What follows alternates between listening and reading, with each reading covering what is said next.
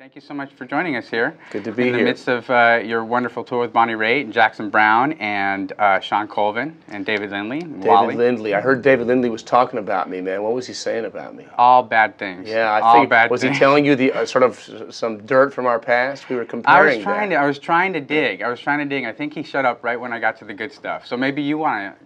Oh, I can talk about bit. it. Sure. Well, we were we were comparing notes about our sordid pasts uh, the other night in Jones Beach, and he was telling me, uh, "You can tell me who tops who on this." He he was telling me how he used to play in a in a bluegrass band at Disneyland, and they had to wear sort of little matching suits, you know, that sort of thing.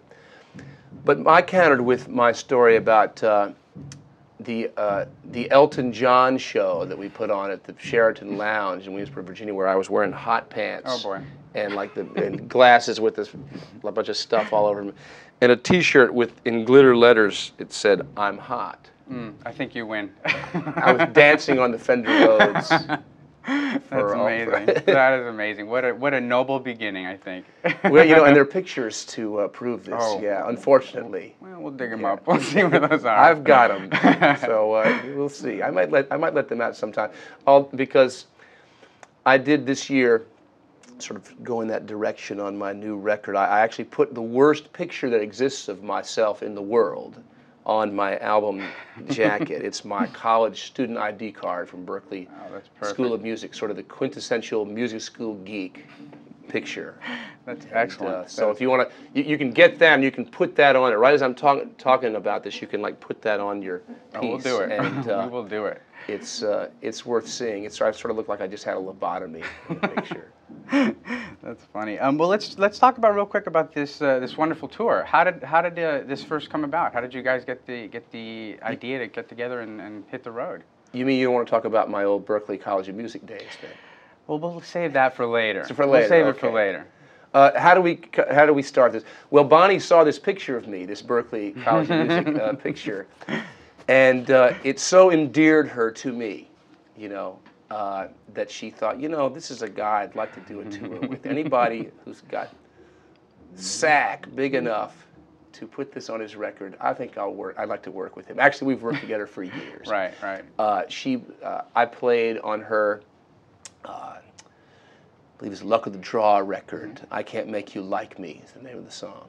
And uh, I played piano on that and the, the sort of the Rhodes thing. Not the Rhodes that I was seen dancing on in the Elton Right, John show, right, but the another Rhodes that they found for me in the studio. Uh, and then she sang on my record, Harbor Lights, and then I was on her PBS special and her live record, Road Test, Tested, and then she was on my PBS special. We toured together in 94 for about five months. We opened for her. So we've been doing things for years. And this is fairly obvious for anyone who's followed the careers of the various uh, principals on the tour. It's a fairly obvious bill, I would say, because Bonnie and Jackson have done things for years. Jackson and I have done a couple of benefits together. Uh, Bonnie and I have done lots of things. Shawn and I have done lots of things. She's been on one of my records. I was on two of hers. She was on an earlier special of mine. So there you go. I've given you almost the entire history of why we're here together. Uh, there was a gig we did in December of last year in Santa Cruz. Bonnie and Jackson, myself, did a benefit for the Hurricane Mitch victims, and uh, we just had such a great time doing it. Such a great time playing together. And Bonnie started calling me once a week in January to say we need to do this for real. And so, so And uh, was she it. was really the catalyst, and. Uh, uh, but they wouldn't use that picture of me on the poster. I wanted them to put that as my promo picture, but they would not do. I said, "Look, because actually, you should see Bonnie's uh, Bonnie's uh, picture from her senior year in high school. That's in the freshman Harvard Facebook.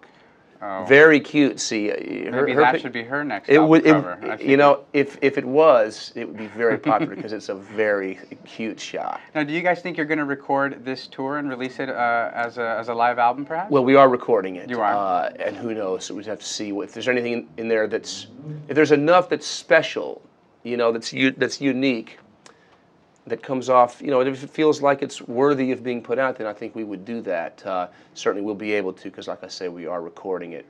And I think there, hopefully there would be enough that's special in there, just conceptually, because I think we're really taking a lot of the songs to different places. You know, for instance, we're doing "Sunny Came Home," Shawn's great uh, hit song very stripped down acoustic, just a violin, accordion, mandolin, uh, almost bluegrassy uh, version of that song. So I think it's interesting when you take songs and take them out of their sta- out of the, their standard uh, production, standard arrangement that they're known for, and reinvent them. And I think there's a lot of that going on here. And there's a lot of like interchanging of vocals as well, right? Are, aren't you singing on some of Jackson's songs and? I'm not sure I'm singing lead on any of Jackson's songs. I'm singing lead on some of, of uh, Bonnie Raitt's tunes, and they're all singing lots of leads on mine. I guess I'm the lazy one. but no, I just like to hear them do it. In fact, there's a song of mine called Lost Soul that Shawn and I did a duet on in, on my record in 1990, uh, Night in the Town. Well, we did a duet of the song, but I really, I really wrote it as a quartet. Four different people, three different people sing about this person, the lost soul, and then he sings at the end. And uh, this is the first time I'm actually able to realize my original concept for the song because now we've got four singers. Jackson sings the first verse, Bonnie and Shawn split the long second one as it's supposed to, as it was written, and then I sing the last verse as the guy talking. So that's fulfilling for me to actually Yeah. hear the song the way I originally heard. Yeah, that must be very Yeah, exciting, actually. I have. To, I want to ask you something about the the la- your last album, Spirit Trail. Oh, okay. I I The read the somewhere. cover.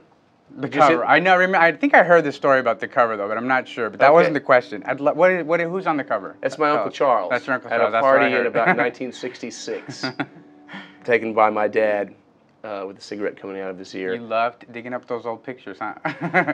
Well, I just w- was on a roll there. We found this old picture in an old box of pictures that my mom had sort of collected, and uh, originally it was just, oh, look at this. This is a scream. This is very funny. So we we made color Xerox blow-ups of the picture to show at the Hornsby Christmas party that happens every year in Yorktown, Virginia.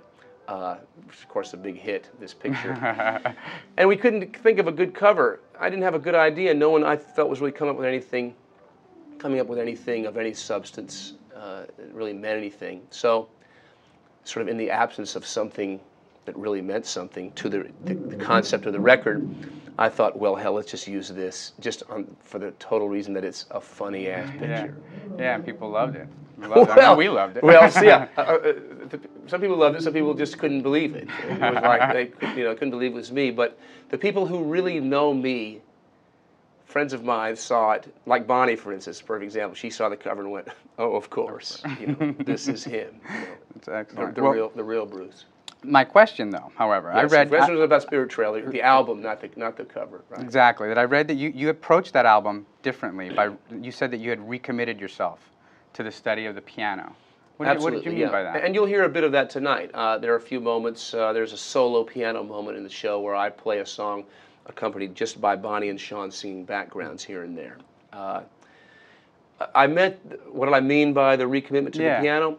When I turned 40, which was four years ago, I decided, uh, you know, 40 can be sort of a milestone in, in your life if you choose to let it be. Uh, and I sort of thought, okay, here I'm 40. You know, how am I going to deal with with with musically with my life musically now? Uh, because a lot of my friends who are 40 and and above just kind of relaxed, kind of just took the took the foot off the pedal a little bit, just uh, slowed down, got a lot less intense about what they do. That's been my, I've noticed that. You know, whether they're still out there making records or playing and singing and, you know, or uh, writing, recording, touring, they're not pushing it. You know, trying to push to a new level uh, in any real meaningful sense to me. I, I, and, and they would tell me that. It's not just my observation. So I thought, well, what am, what am I going to do? Am I going to do this and just kind of groove? Uh, or am I going to sort of take it to a new place? There were always doors of, of piano playing, sort of different areas of, of, of, the pursuit of playing the piano well. I would open the door and go, no, it's too hard. I don't want to deal with what it takes, the amount of effort it takes to get this particular sort of technical area together. And I would always close the door. Uh, but I decided to open the door wide open at age 40 and to recommit myself to practicing three, four, five hours every day, Wow. and uh, and develop some things that I had always wanted to develop, but had never taken the time. Uh, I basically try to do too many things. Uh, try to do too many things well. Write, sing, play. Uh, the, the playing, the virtuoso uh, aspect in pop music is very. It's, it's not Yeah. you know. Uh, the attempt at virtuosity is not what pop music has ever been about, really. Right, with right. with rare great exceptions, Mark Knopfler, uh, Stevie Ray Vaughan. Of course, they've been great instrumentalists, but it's not really what it's ever been about. Right, Uh, and so I wanted, it's always been a little bit about what it was about for me. I mean, two of my biggest top 40 hits had a lot of soloing on them. Way It Is, Valley Road, had a lot of bl- just blowing. And I sort of felt like I sort of infiltrated and double crossed in that sense because it was nice to hear my, my music school friends say, I can't believe what you got away with on top 40, you know. Uh, and that was fulfilling for me. That's probably the most fulfilling aspect of that to me is being able to find a place for some real playing in that pop song context.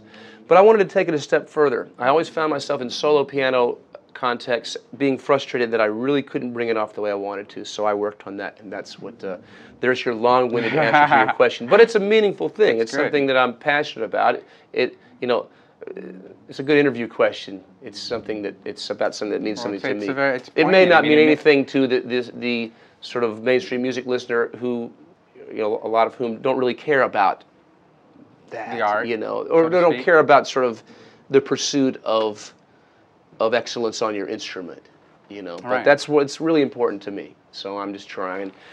You know, I'm always blown away by new players I hear, and it's always inspiring to me. I just heard a great uh, uh, guy who's been around for a few years, but I've never heard of him, Brad Mehldau, who's this fantastic uh, jazz piano player. And I heard that, and it's sort of inspired me to re recommit myself because I've kind of fallen away from it a little bit. I'm not practicing as much now as I was the first two years there. Still doing it a lot, but not like I was. But you will. You well, will yeah, it's difficult to juggle all the uh, demands. Yeah. You know, when you actually have a, a career where uh, where you're doing things like this, you know, this takes Right. away from what you really want to be doing. Right. No offense there. No, I understand. None taken.